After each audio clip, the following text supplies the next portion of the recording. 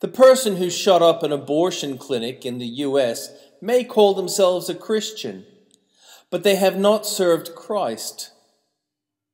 It isn't up to the servant to make their master's will plain. They might try to. Good intentions aren't the same as service.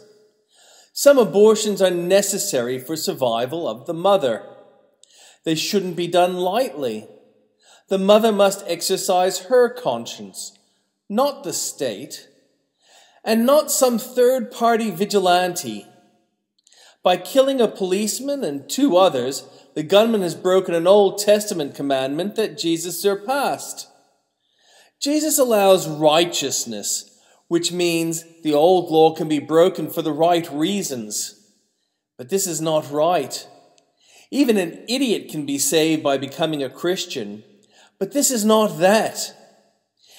It is as wrong as a jihadi engaged in immoral behavior to be a terrorist.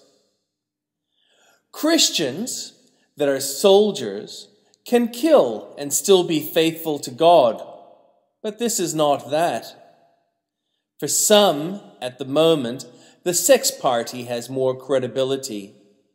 My name is David Daniel Ball, and I am the conservative voice. David Daniel is author of History of the World in a Year by the Conservative Voice.